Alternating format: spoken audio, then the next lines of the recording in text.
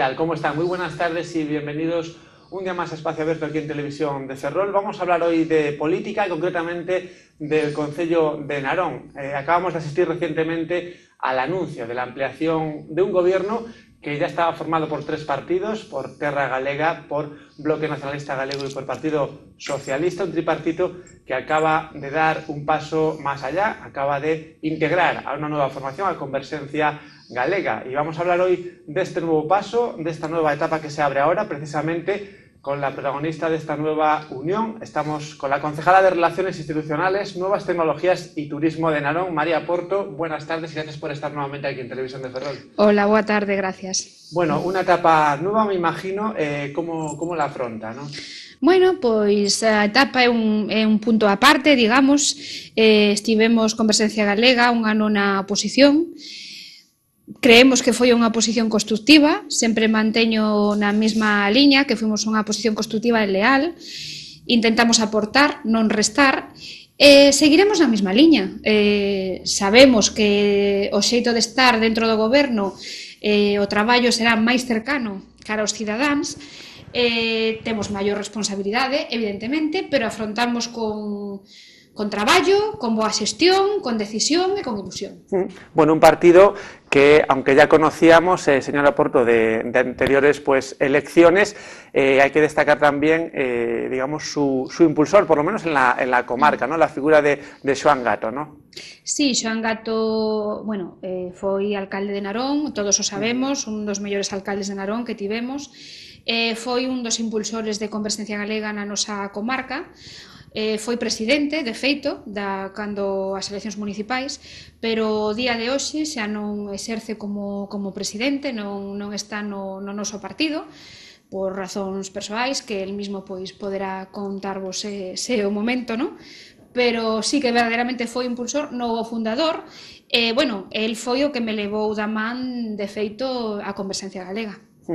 Bueno, continuamos hablando de la nueva concejalía que se, que se crea a raíz de este cuatripartito, una concejalía amplia en principio, ¿no? Parece, con, por una parte, relaciones institucionales, nuevas tecnologías y, y turismo, ¿no? Por tanto, un abanico bastante amplio, ¿no, señora A verdade é que sí, que empezamos con un abanico bastante amplio, pero bueno, eh, creemos que, bueno, é unha oportunidade moi boa, que temos un abanico ademais moi variado, que iso tamén é moi importante, Estamos todavía aterrizando, como que en di, ¿no? pero estamos contentos coa área que, que se nos propuxo e intentaremos, bueno, pois traballar con, con, con entusiasmo e con, e con, bueno, con moita xestión, evidentemente.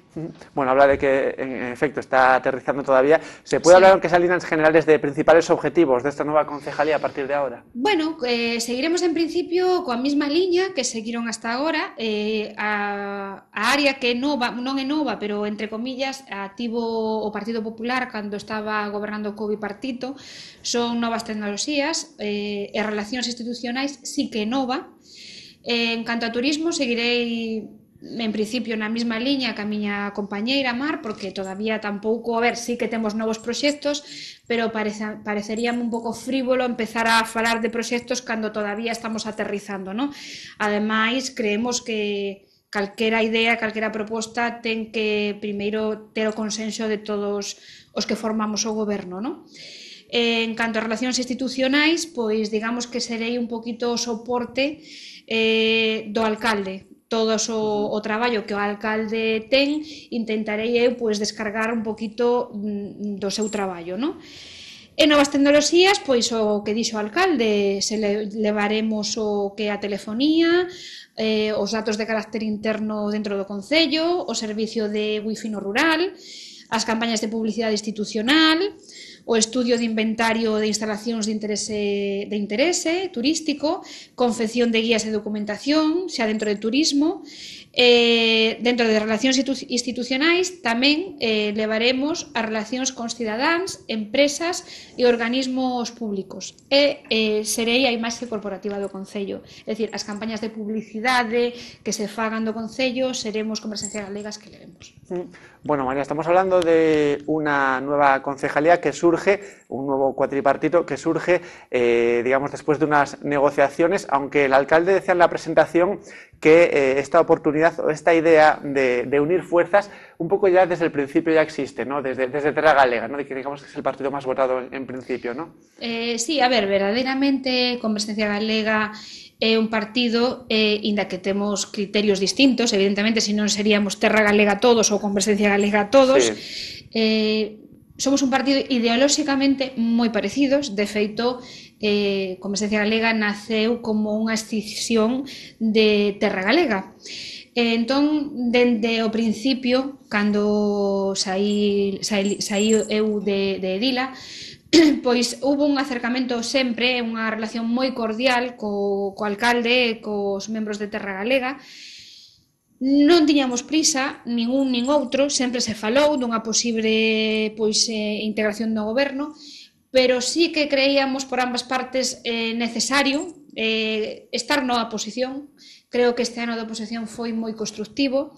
Eh, ter, se ha rematado o, a época de ano político, digamos, uh -huh bueno, mm, vimos que xa era oportuno quizáis dar o paso, eh, o que sí sempre pensamos é que ten, tiñamos que ter dende Conversencia as ideas moi claras e moi seguras para dar este paso adiante, E foi o momento, digamos que xurdiu e, e aquí estamos. Bueno, de onde sale, perdón, de onde sale un pouco la iniciativa? Non sei sé si se del propio Partido de Converxencia Galega ou, digamos, de, de Terra, de Tega, perdón. Mm, sai un pouco dos dous, é dicir, as relacións foron sempre moi cordiais entre ambas partes, unha vez que determinados problemas se solucionaron, porque sí que ao principio existían, bueno, pues algunhas tensións, eh, é que sempre houve un trato moi cordial, pero realmente mm, o trato sempre foi cordial con todos os partidos políticos que formamos a Corporación de Narón. Eu creo que Narón damos exemplo.